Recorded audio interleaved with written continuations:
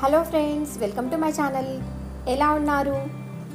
ఈరోజు recipe onion kachori. కచోరీల్లో చాలా రకాలు ఉన్నాయండి. అందులో ఆనియన్ కచోరీ ఒకటి. చాలా తక్కువ ఇంగ్రీడియంట్స్తో బేసిక్ ఇంగ్రీడియంట్స్తో ఈజీగా త్వరగా చేసుకునే టేస్టీ రెసిపీ చాలా చాలా బాగుంటాయండి. ఈ కచోరీలు. చాలా తక్కువ టైంలో చేసుకోవచ్చు. మనకి ఏదైనా తినాలనిపించినప్పుడు అప్పటికప్పుడు చేసుకునే రెసిపీ అండి ఇది. వీడియో ఎండ్ వరకు చూడండి ఫ్రెండ్స్. కొత్త వాళ్ళు నా ఛానల్ సబ్స్క్రైబ్ చేసుకొని పక్కనే ఉన్న బెల్ ఐకాన్ని క్లిక్ చేయండి. ముందుగా ఒక బౌల్ తీసుకొని అందులో ఒక కప్పు మైదా వేసుకున్నాను. Half teaspoon salt. అలాగే హాఫ్ టీ స్పూన్ అజ్వైన్ అంటే వాము వేసుకున్నాను. కొంచెం క్రష్ చేసుకొని వేసుకోండి. ఒకసారి అలా కలిపేసుకొని రెండు టేబుల్ స్పూన్ల ఆయిల్ని నేను హీట్ చేసి పెట్టుకున్నాను. వేడి నూనెని పిండిలో వేసుకోవాలి. స్పూన్తో కలుపుకొని చల్లారిన తర్వాత చేతితో కలిపేసుకోండి పిండి మొత్తాన్ని.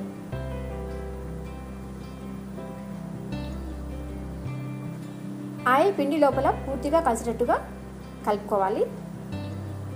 మనం చేతితో ఉండకడితే అలా ఉండలాగా రావాలి. అలా కలుపుకోవాలి. ఆయిల్ సరిపోకపోతే ఇంకొంచెం ఆయిల్ అయినా కానీ వేసుకోండి. కొద్ది కొద్దిగా వాటర్ వేసుకుంటూ మరీ గట్టిగా కాకుండా మరీ లూజ్గా కాకుండా పిండిని సాఫ్ట్గా కలుపుకోవాలి. పిండి కలిపిన తర్వాత ఒక ఐదారు నిమిషాల పాటు బాగా పిసికేసి పక్కన పెట్టేసుకోవాలి. సాఫ్ట్గా చేసుకొని పక్కన పెట్టేసుకోండి. స్టఫింగ్ కోసం రెండు పెద్ద సైజు ఆనియన్స్ని చాప్ చేసి పెట్టుకున్నాను సన్నగా తరిగి పెట్టుకున్నాను. అలాగే రెండు పచ్చిమిర్చి ఒక హాఫ్ టీ స్పూన్ సోంపు హాఫ్ టీ స్పూన్ జీరా అలాగే ఒక ఒక టీ స్పూన్ ధనియా అల్లం ఒక ఇంచు కొత్తిమీర కొద్దిగా. ఒక పావు కప్ కొత్తిమీర తీసుకున్నాను. కొంచెం ఉంటే కొంచెం ఎక్కువనే తీసుకోవచ్చు. ఒక కడాయిలో ఒక టేబుల్ స్పూన్ ఆయిల్ వేసుకొని ఆయిల్ హీట్ అయిన తర్వాత మనం తీసుకునే ఇంగ్రీడియంట్స్ మొత్తం వేసుకోవాలి. అల్లము ధనియా జీలకర్ర సోంపు పచ్చిమిర్చి వేసుకొని ఒక నిమిషం పాటు వేయించండి. అన్నీ వేగట్టుగా వేయించుకున్న తర్వాత చూసారు కదా వేగిపోయాయి. ఇప్పుడు మనం కట్ చేసి పెట్టుకున్న ఆనియన్స్ వేసుకోవాలి. ఆనియన్ కచోరీకి ఆనియన్స్ కొంచెం ఎక్కువే పడతాయండి. నేను పెద్ద సైజ్ ఆనియన్స్ వేసుకున్నాను రెండు. చిన్నవైతే మూడు వేసుకోవచ్చు. ఇందులో హాఫ్ టీ స్పూన్ సాల్ట్ వేసుకున్నాను. మనం పిండిలో వేసుకున్న సాల్ట్ ఇప్పుడు వేసుకున్న సాల్ట్ పూర్తిగా కరెక్ట్గా సరిపోతుంది. కొద్దిగా వేయించుకోవాలి. మరీ కలర్ వచ్చేంత వరకు వేయించాల్సిన అవసరం లేదు. పావు టీ స్పూన్ పసుపు హాఫ్ టీ స్పూన్ కారం పావు teaspoon garam masala chaat masala half teaspoon coriander powder అంటే ధనియా పౌడర్ హాఫ్ టీ స్పూన్ వేసుకొని కలుపుకోవాలి. డ్రై మసాలాలు వేసేటప్పుడు ఫ్లేమ్ ఎప్పుడైనా కానీ లోలో పెట్టుకోవాలండి. పూర్తిగా లోలో పెట్టుకొని వేసుకోండి. మీకు కాస్త మాడినట్టు అనిపిస్తే ఒక టీ స్పూన్ రెండు టీ స్పూన్ల వాటర్ కూడా వేసుకోవచ్చు. పావు టీ స్పూన్ ఆమ్చూర్ పౌడర్ వేస్తున్నాను. ఆమ్చూర్ పౌడర్కి బదులుగా నిమ్మరసమైన కానీ వేసుకోవచ్చు. ఇప్పుడు బైండింగ్ కోసం గోధుమ సారీ శనగపిండి వేస్తున్నాను రెండు టేబుల్ స్పూన్లు. మీరు శనగ శనగపిండికి బదులుగా ఆలుని అంటే బంగాళదుంపని ఉడికించుకొని మ్యాష్ చేసుకుని అయినా కానీ వేసుకోవచ్చు. ఈ రెండు కలిపి అయినా కానీ వేసుకోవచ్చండి. కాకపోతే స్టఫింగ్ కాస్త ఎక్కువైపోతుంది. మనం తీసుకున్న దానికి స్టఫింగ్ మిగిలిపోతుంది అలా వేసుకుంటే. చివరిగా కాస్త కొత్తిమీర వేసుకొని అంతా కలిపేసుకొని స్టవ్ కట్టేసి చల్లార్చుకోవాలి. పూర్తిగా చల్లారిన తర్వాత ఒకసారి అలా కలిపేసుకొని చిన్న చిన్న ఉండలాగా చుట్టుకోవాలి.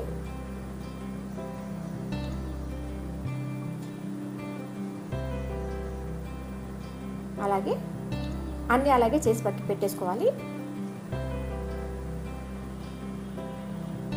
ఇప్పుడు నానబెట్టుకున్న పిండి చూద్దాము. పిండి పూర్తిగా బాగా నానిపోయిందండి. మనం తీసుకున్న స్టఫింగ్ కంటే ఇంకొంచెం సైజ్ పెద్ద సైజులో ఉండాలిగా చేసుకోవాలి.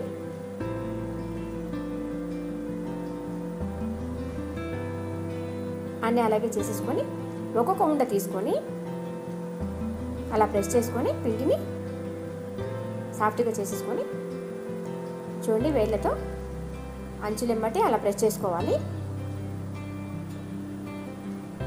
మధ్యలో కాస్త మందంగానే ఉండనివ్వాలండి కటోరీ మోడల్లో అంచులెమ్మటే ప్రెస్ చేసుకుంటూ పోవాలి.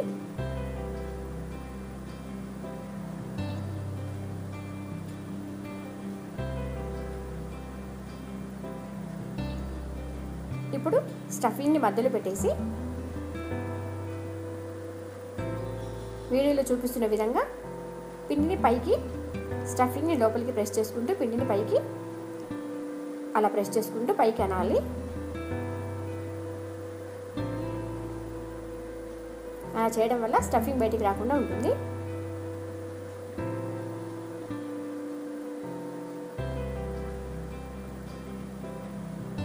ఇప్పుడు మనం లోపల పెట్టిన స్టఫింగ్ని స్ప్రెడ్ చేయాలి.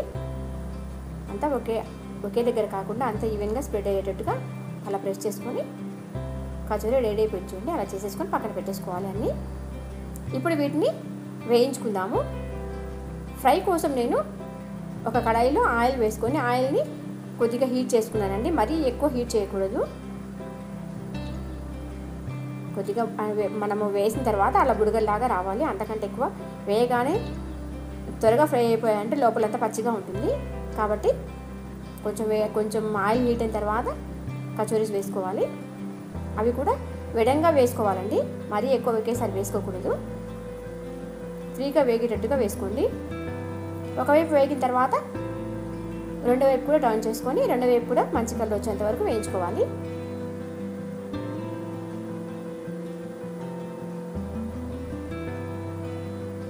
క్రిస్పీగా వేగాయండి. కలర్ కూడా మంచిగా వస్తుంది కదా? మంచి కలర్ వచ్చింది. తీసుకొని పక్కన పెట్టేసుకున్నాము. ఇప్పుడు నెక్స్ట్ బ్యాచ్ కూడా అలాగే వేసేసుకోవాలి. ఫ్లేమ్ని లోలో సారీ మీడియంలోనే పెట్టుకోండి.